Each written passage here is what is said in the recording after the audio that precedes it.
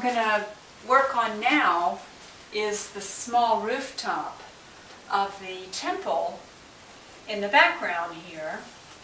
And when I'm working in the background detail, of course it's all very tiny and in miniature, so there aren't any broad sweeping strokes for the moment.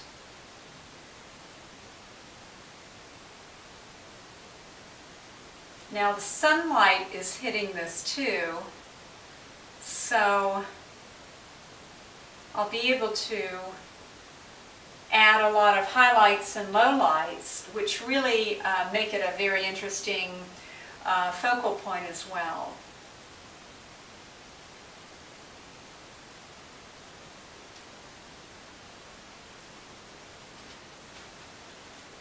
Just in this area, I will work most of the day just creating all of the uh, very fine detail.